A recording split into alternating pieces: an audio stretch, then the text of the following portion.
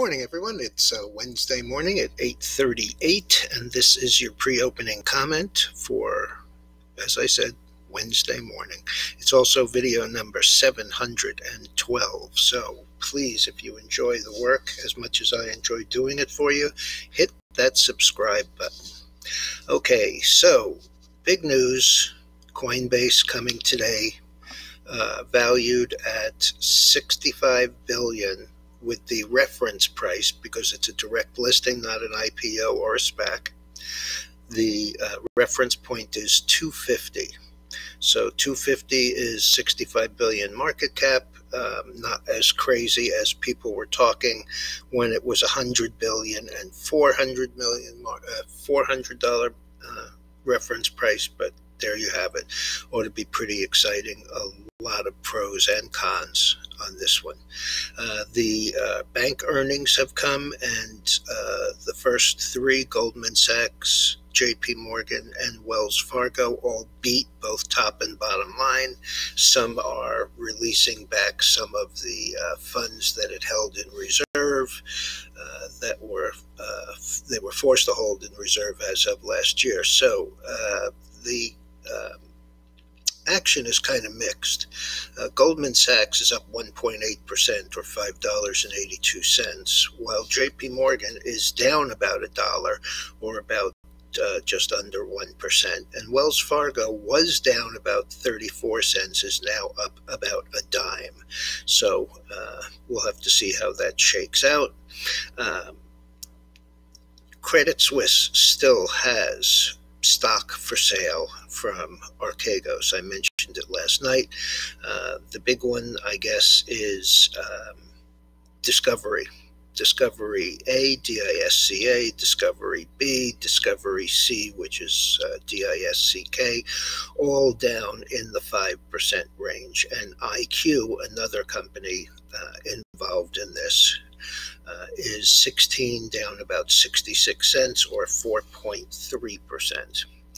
Uh, also on the earnings front, we had Bed Bath and Beyond, which uh, missed on uh, revenues and beat on earnings. Um, and the street does not particularly care for that. You know, this stock has uh, rocketed higher with a lot of the other retail stocks, but this morning it's 25.41. That's down 252 or 9%. And besides their miss, uh, they also guided lower. Uh, Moderna, which got a move to the upside yesterday on the J and J news, uh, is higher again today, up another five dollars and fourteen cents or three point four percent, saying that they are now using their uh, mRNA uh, platform uh, to attack flu and HIV. So uh, we'll see if they can be as successful there as they seem to be uh, with the COVID vaccine. As far as the markets, uh, the Dow is up about 25, the Nasdaq is up 38, the S&P is up about 3, and uh, those moderate numbers uh, also mirror what's gone on in Asia and Europe following our action yesterday.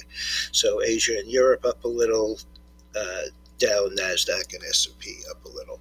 Okay, just a couple of quick ones on the um, futures because uh, Dennis got in, got back into the uh, coffee and did quite well. If you read my comment on Sunday, you would have known that I said that we had, you know, made a bottom in here, back at support. I've drawn this line straight across now for six months. Uh, we came back down to test that 120 area, spent three days there doing very little, and then uh, started with a move of up $4.75. We have a little bit of a running correction, no extensive moves until yesterday when we were up about uh, two cents on it, and this morning we have followed through with another 270. Uh, this probably will be a problem.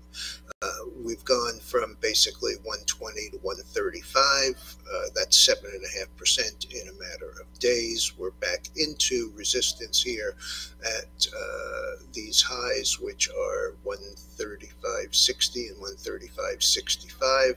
And uh, that also is reflective of the area that we broke down from at 135.75 on the way back down. So uh, we'll have to see how that uh, turns out. But uh, Dennis was right on the money there. And so anybody who is interested in futures, don't hesitate to call. I'm happy to discuss it and uh, make the introduction.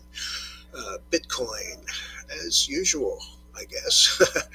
New high 65,520. Uh, last is 64. 820 up 1135 again i hate to sound like a broken record but i don't see any reason for this not to be 68 to 70000 in the near term uh, we are in uh, gbtc and we're also in uh, ethe ethe is the ethereum grayscale trust and as everybody knows uh, we've been in GBTC since it was uh, in single digits, and the current position was put on at $18 and change. And uh, right now we're trading around 55 bucks. So have a good day. Be careful out there, and I'll be back later.